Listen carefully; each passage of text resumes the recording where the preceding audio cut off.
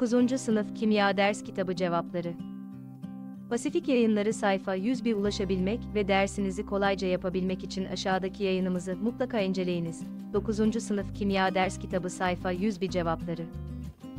Pasifik Yayınları güçlü etkileşimler, kimyasal bağlar, güçlü etkileşimleri, iyonik, kovalent ve metalik bağ olarak sınıflandırmıştık.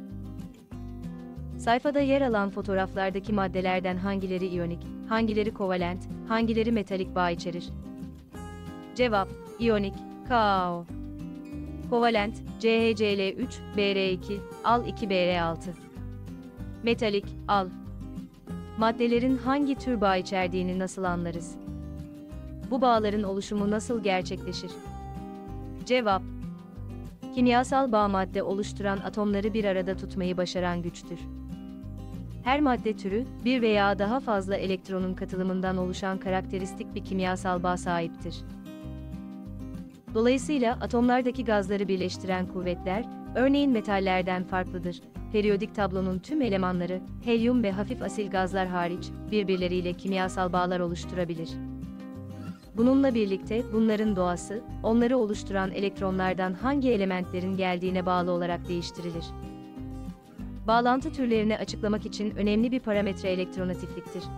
İki atom arasındaki elektronegatiflik, E arasındaki fark, sadece kimyasal bağın türünü değil aynı zamanda bileşiğin fiziko-kimyasal özelliklerini de tanımlar.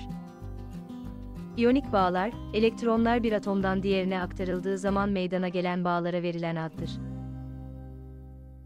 Tepkimeye giren elementlerden birinin atomları, elektron kaybedip pozitif yüklü iyonlara dönüşürken, diğer elementin atomları elektron kazanıp negatif yüklü iyon oluştururlar.